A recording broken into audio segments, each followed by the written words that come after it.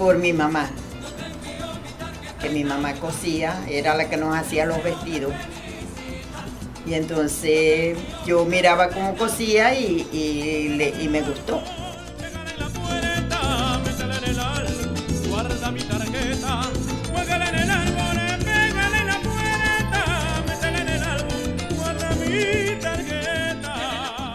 Bueno, desde que se fueron mis hijos y mis nietos para Estados Unidos y quedé sola, no podía estar triste.